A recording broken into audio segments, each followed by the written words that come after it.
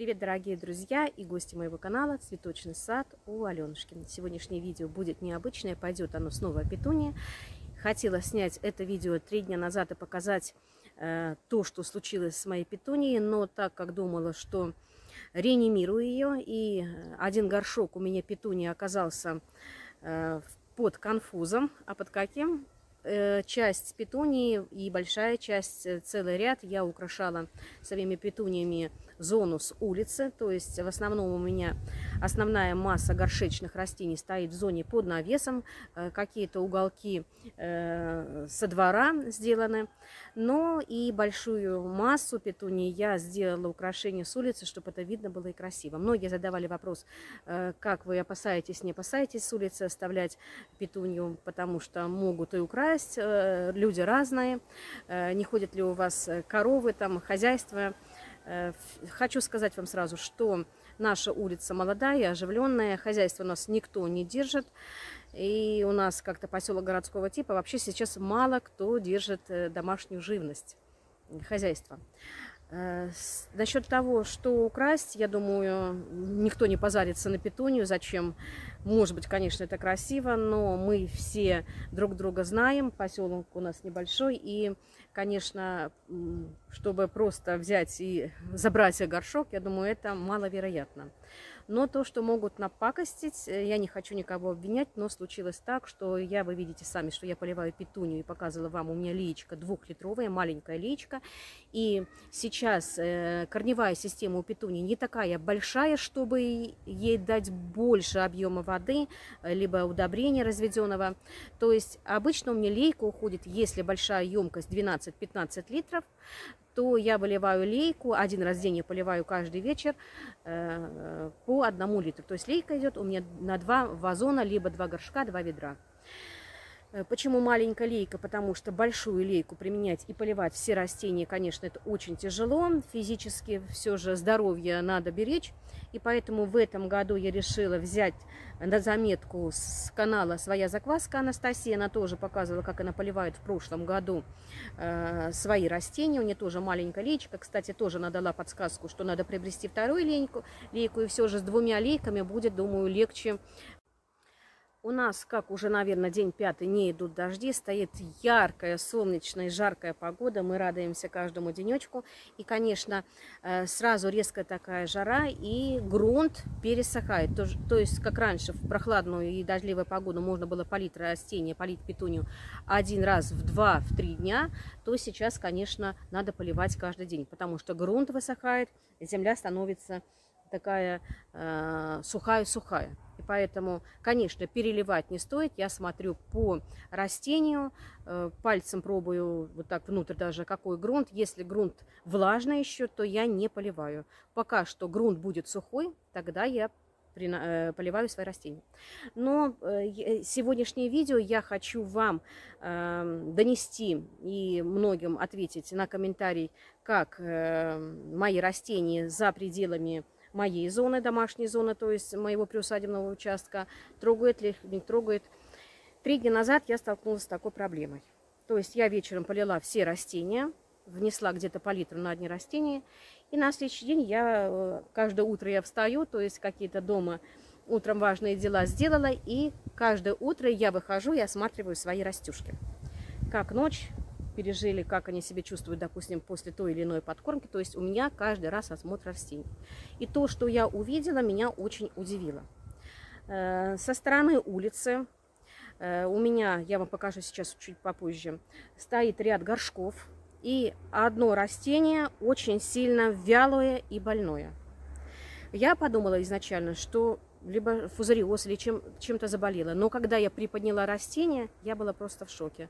Туда, наверное, вылили литра, не литра, а ведер, пару ведер воды. Там столько было воды, и растение мое просто плавало.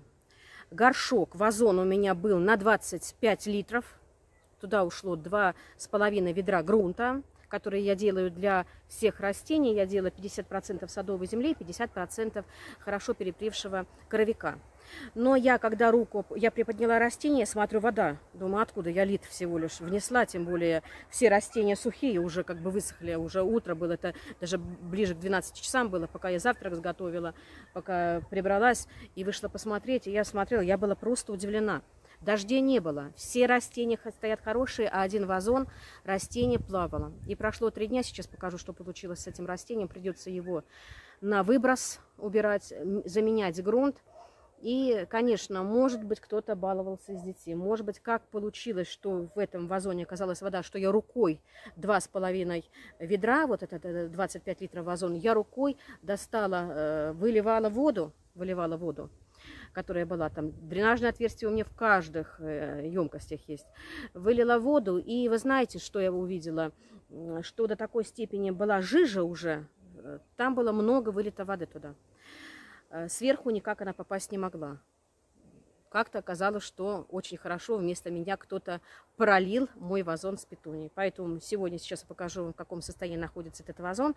Сравню, покажу рядом растения. И какие-то выводы делать я не буду, не спешу, но так получилось. Как получилось, так получилось. Поэтому растения жалко. Там э, два растения, я делала микс, два растения в одном вазоне. И, конечно, придется что-то подсаживать, что-то заменять, потому что вазон красивый. Конечно, буду делать какую-то новую пересадку. Но есть у меня одно хозяйственное ведро из-под краски. Там хорошо разрослось э, красивый сорт вегетативной петунии. Покажу вам позже, что я буду пересаживать.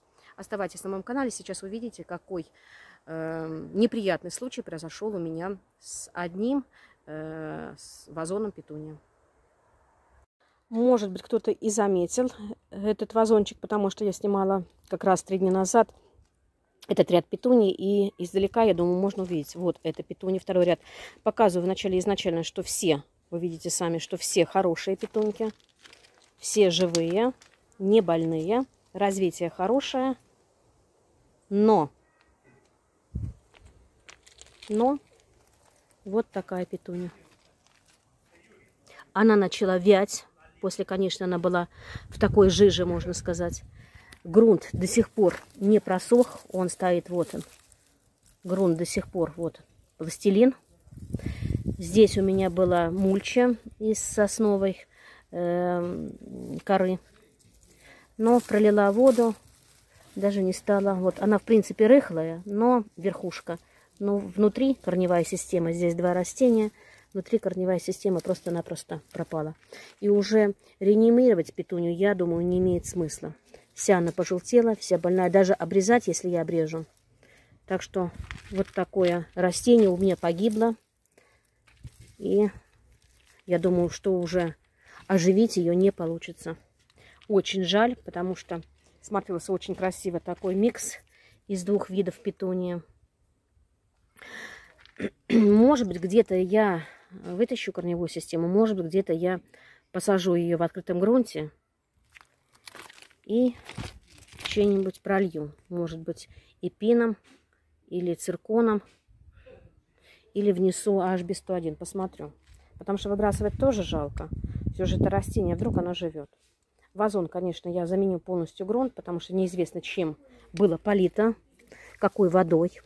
Потому что за три дня растение просто-напросто пришло вот такое непригодное состояние. Я думаю, что корневая система, э, если даже убрать это растение в этот же грунт, что высадить, конечно, я рисковать не буду.